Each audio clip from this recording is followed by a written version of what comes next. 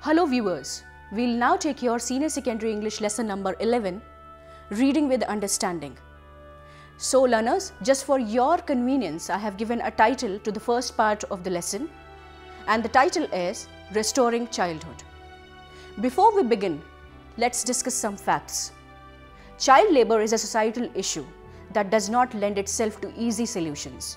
According to the census 2001, poverty has trapped over 12.59 million children in labor in India. Untold number of these are girls who are succumbed to age-old traditions and gender discrimination and are doubly marginalized.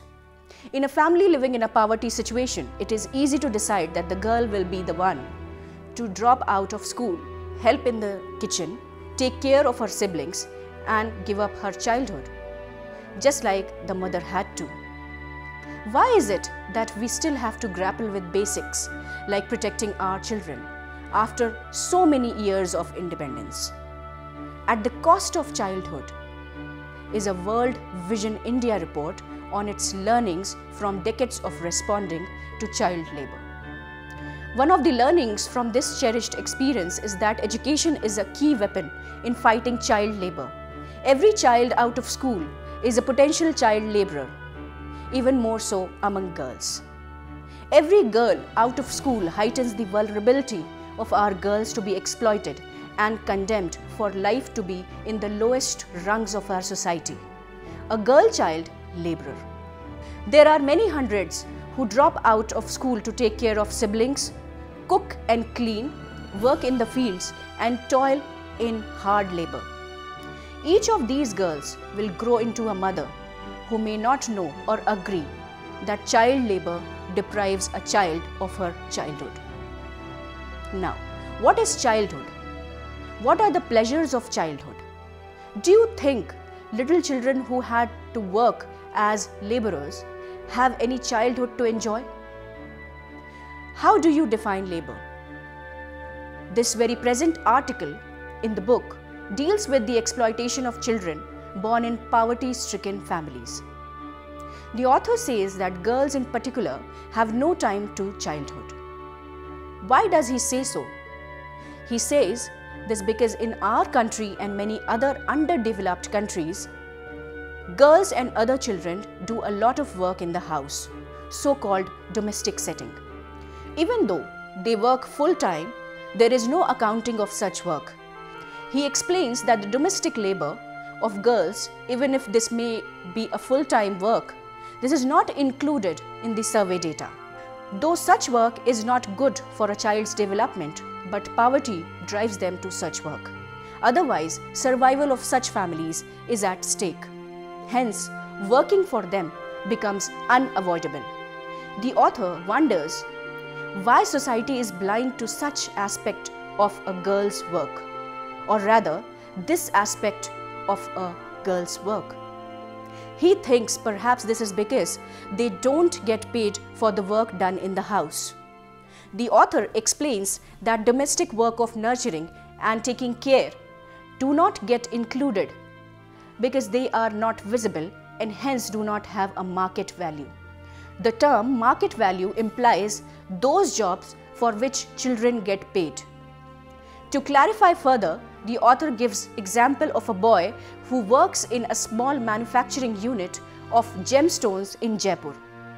He is easily visible because he is working in a town and is paid wages. But a girl who cuts grass on a steep mountain slope, even though it is equally dangerous, is ignored. This kind of concept of child labor is not adequate for understanding the real nature and extent of children's work. In India, majority of child labor work as cultivators and agricultural laborers and a variety of domestic chores such as taking care of siblings, grazing cattle or collecting fuel, wood and fodder as part of their daily lives. They do everything, yet they are not accounted in survey reports which gives figures of child labor. Such reports lose their authenticity. The documentation on child labor in India is biased. It has a strong focus on children working in hazardous conditions such as that of match or firework factories in Sivakasi or glassworks at Firozabad. Studies have also been focused on self-employed children in big metro cities like Delhi, Mumbai, Bangalore, etc. These are the most striking and visible examples of the way society exploits child labor who are denied the right to a healthy childhood. The fact that the spotlight does not fall on children laboring in rural areas shows that the reports given by administration, media and other research agencies are biased towards urban areas. There is a belief that the rural areas are tranquil and calm and hence peaceful and simple to make them more charming. The bias is not peculiar to middle class. To conclude, let us summarize the main points. The article over here which has been mentioned in your lesson deals with the child labor in poor homes. They do not get an opportunity to enjoy their childhood. They are engaged in all kinds of chores. Society is insensitive to their needs. Research data is not authentic because it has a girl versus boys bias. It has a rural versus urban bias.